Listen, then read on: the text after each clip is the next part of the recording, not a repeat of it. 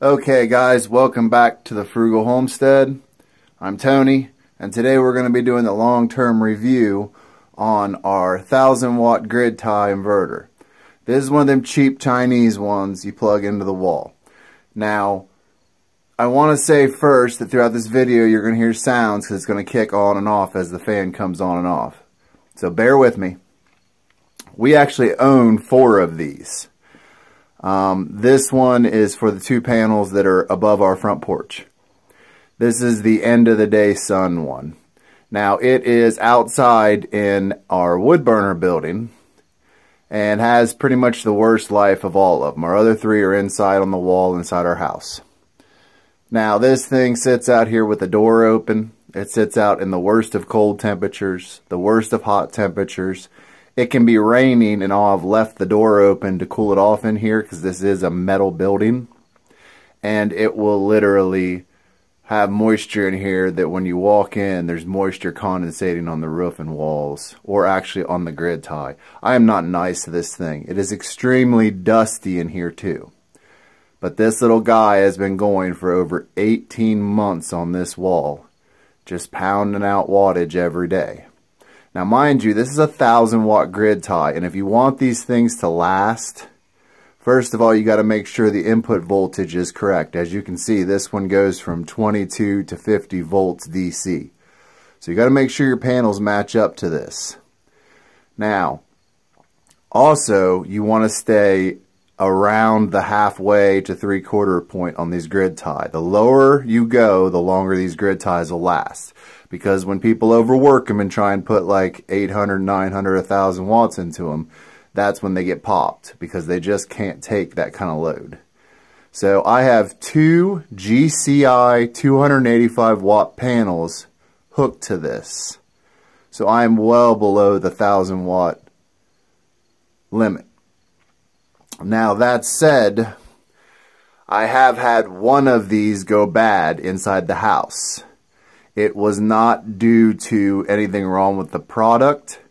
We had a pole down the street and we're not 100% sure if the transformer blew up or if it got struck by lightning, but basically we went down there after something loud happened and it was actually, the pole was on fire.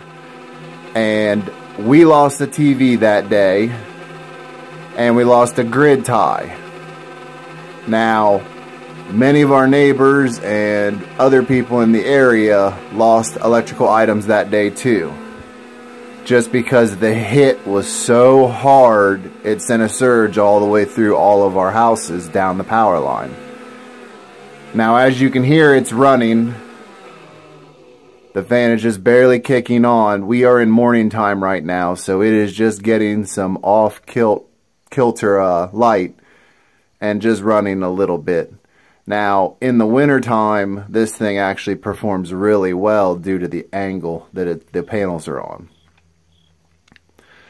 The one thing I can say about this one is, if you look at the sticker there, it's the one with the panels on one side and the fans on the other side. There's multiple thousand watt versions out there. The one that has that sticker seems to be one of the better ones.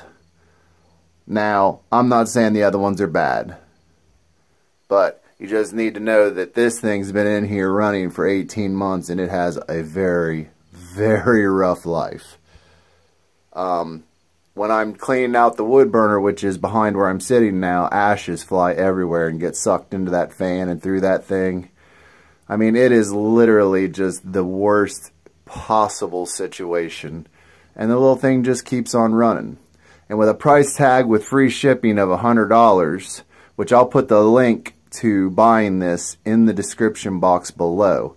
You can get this off Amazon for basically a little over a $100, shipped to your door for free.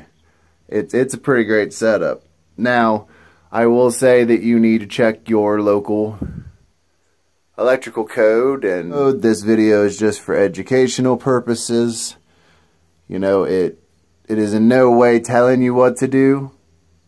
We are just telling you how these work and that they are solid for long-term use. And if you do electric bill and look at the savings, even if you were to lose one of these every six months, it pays for itself. So we just wanted to share this long-term review.